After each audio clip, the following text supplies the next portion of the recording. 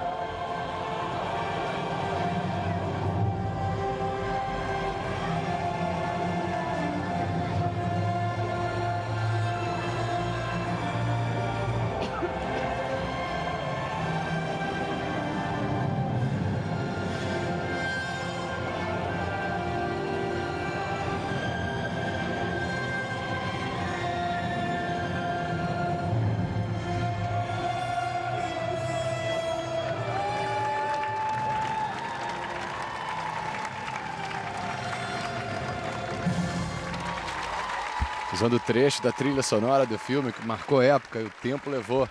Essa foi a, a representante do Uzbequistão, Jamila Rakhmatova, se apresentando pelo Masters de Berlim no aparelho arco. É, e essa competição é uma competição muito interessante porque já é a décima